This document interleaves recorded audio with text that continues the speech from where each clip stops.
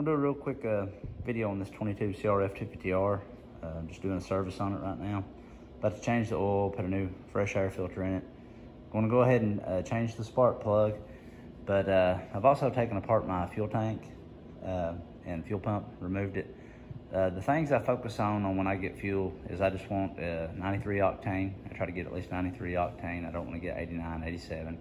And I really focus on getting non-ethanol. But so there's one other thing, and I didn't think that much about it with gasoline.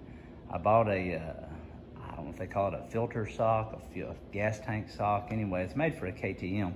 I bought one for my tractor to try to uh, keep all the sediment, and you know, diesel's a real nasty fuel, but uh, I'm gonna start using it on on my gas that I get from my bike as well because I, I watched a lot of uh, sediment and grime fall in this tank, and this being a new bike, I just went ahead and pulled it apart and looked at everything, removed that old fuel.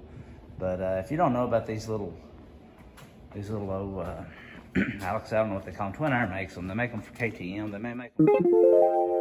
It's a little, uh, it's a little, I call it a filter sock.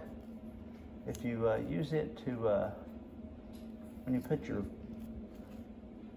fuel from the tank into your gas jug, uh, it'll catch a lot of that sediment. And uh, I didn't really see nothing wrong.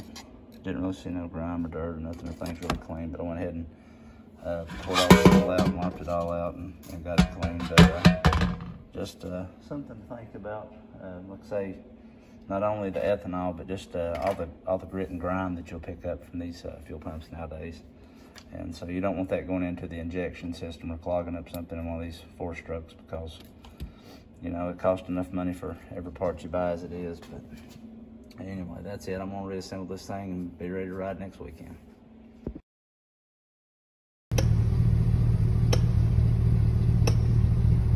There's so much sediment I caught using this little